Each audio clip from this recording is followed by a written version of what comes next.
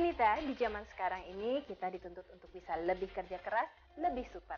Karena selain harus mengurus rumah tangga, memenuhi kebutuhan anak dan suami, kita juga harus bisa bekerja sesuai dengan potensi dan kemampuan yang kita miliki.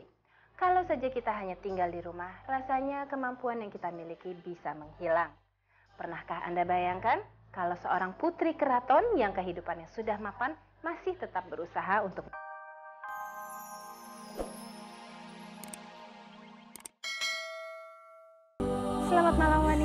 sudah mau tidur?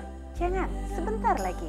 Karena mulai malam ini TPI akan menyajikan satu acara spesial yaitu Halo Wanita. Acaranya satu jam, isinya berbagai informasi menarik,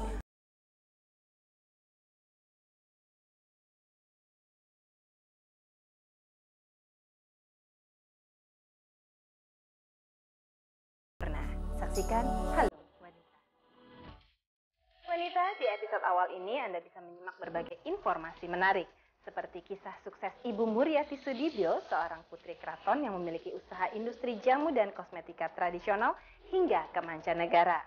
Selain itu, kita juga akan menggali profesi dokter forensik yang bisa dibilang cukup langka di Indonesia, khususnya di kalangan wanita. Nah, apakah profesi ini seseram seperti apa yang dibayangkan orang banyak? Wanita banyak cerita kegagalan dan frustasi seorang yang justru membawa kebahagiaan pada akhirnya, seperti yang dialami oleh Desi Deborah, seorang artis sinetron. Anda bisa simak nanti kisahnya lewat True Story. Sementara Iga Mawarni merasa senang dengan posisi woman on top. Atau Dik Doang yang bisa merasakan ekspresi cinta sang istri lewat posisi ini, Anda bisa simak opini mereka lewat To The Point. Selain itu, masih ada tips bagaimana menggunakan sex appeal untuk bisa bernegosiasi dengan mitra kerja. Dan juga cara-cara menarik perhatian pria lewat gaya busana, aksesoris, dan tata rias wajah. Wanita, di zaman sekarang ini kita dituntut untuk bisa lebih kerja keras, lebih super. Karena selain harus mengurus rumah tangga, memenuhi kebutuhan anak dan suami, kita juga harus bisa bekerja sesuai dengan potensi dan kemampuan yang kita miliki.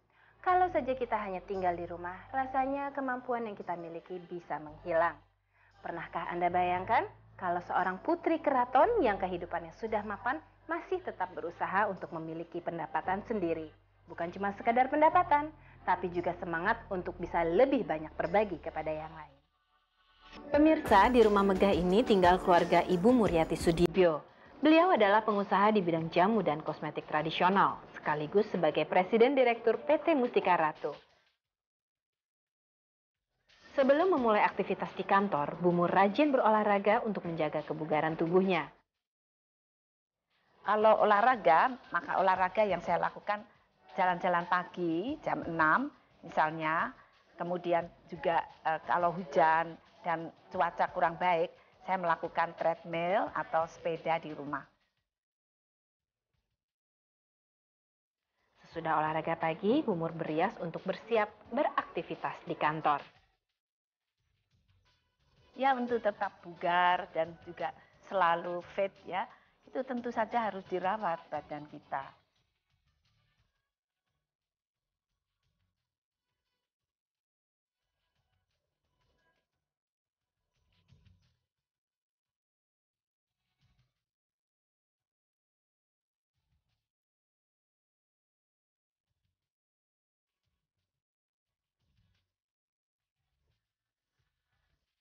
Sudah tentu, Bumur tidak melupakan sarapan agar fisik siap untuk beraktivitas sepanjang hari. Juga menjaga makanan uh, supaya tidak uh, banyak menggunakan makanan yang banyak lemaknya dan karbohidrat itu untuk seusia saya penting sekali supaya tetap uh, segar, bugar dan awet muda.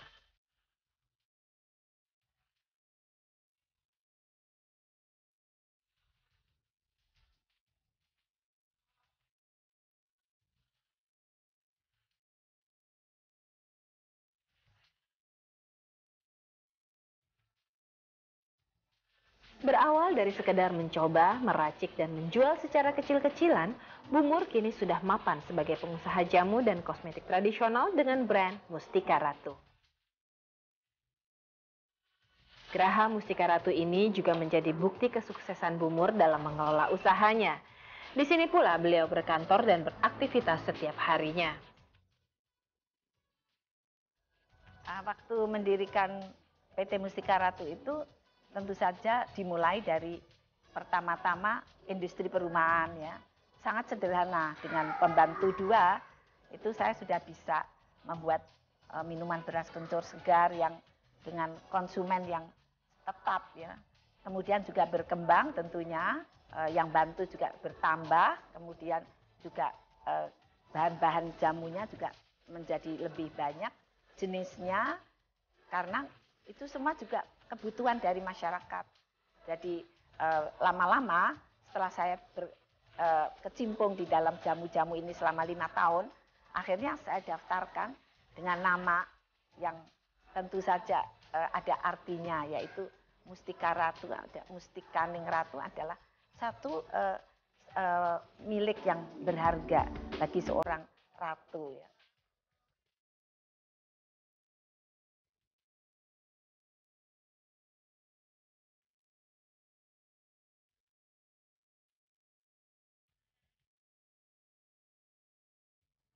Yang memberikan motivasi pada saya untuk uh, terus mengembangkan obat tradisional Indonesia dan juga kosmetika tradisional yang menggunakan bahan-bahan alam ini.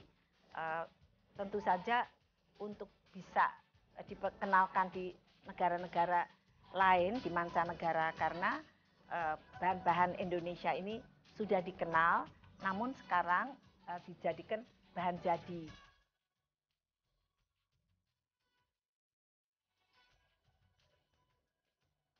saya juga mendirikan dengan beberapa tokoh yaitu yayasan yang disebut Yayasan Putri Indonesia. Dan Yayasan Putri Indonesia itu berkecimpung tidak hanya di bidang pendidikan, tapi juga berkecimpung di bidang eh, apa ini lomba pemilihan-pemilihan putri dalam eh, eh, hal perawatan kesehatan maupun penampilan maupun juga eh, kecerdasan. Eh, semua itu dididik sedemikian rupa atau dibina supaya bisa mengikuti uh, lomba uh, pemilihan putri ini tentu saja menjadi satu panutan bagi putri-putri yang lain.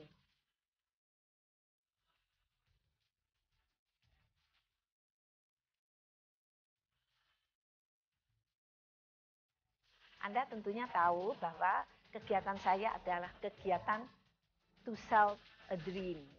Jadi menjual impian.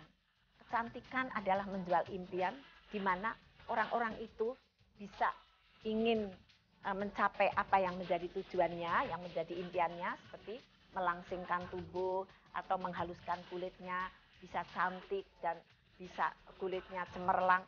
Itu tentu saja merupakan satu uh, impian yang yang membuat dia itu kepingin.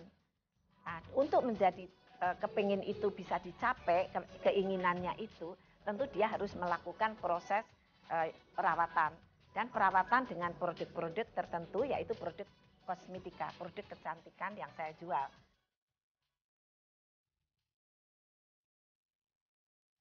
Ah, kalau ditanyakan mengenai mutiara kehidupan itu eh, bagi saya hidup ini merupakan satu perjuangan di mana kita harus juga berjuang kalau kita mau mencapai sesuatu yang kita inginkan, yang kita cita-citakan.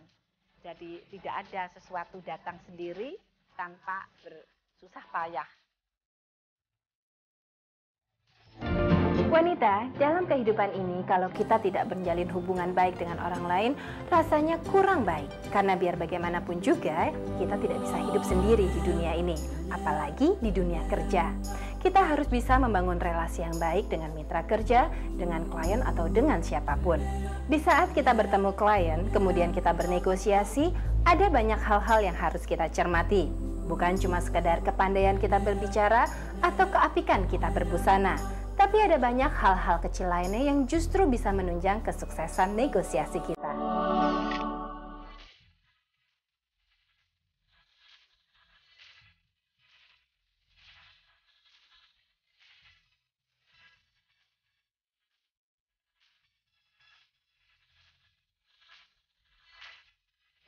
Biasa, di dalam setiap pekerjaan kita semua amat membutuhkan hubungan baik dengan pihak lain.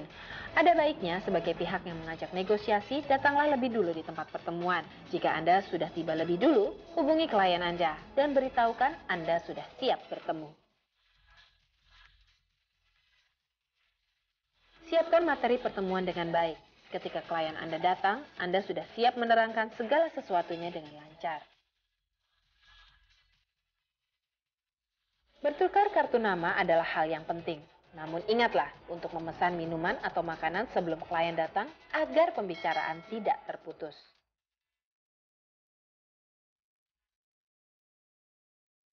Jagalah jarak bicara Anda, tidak jauh tapi juga tidak dekat. Mimik wajah, gerakan tangan dan tubuh amat sangat membantu proses negosiasi Anda dengan klien. Pembicaraan pun akan bervariasi, tidak melulu tentang materi pertemuan, tapi juga mengenai hal-hal yang sedikit pribadi.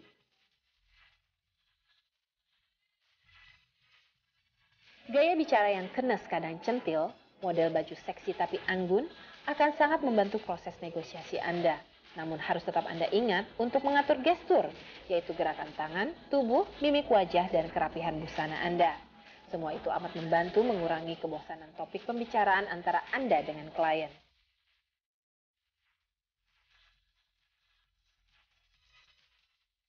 Menyelipkan humor ringan di antara pembicaraan serius adalah suatu langkah yang amat tepat. Selain meringankan pembicaraan, klien Anda tidak akan merasa jenuh.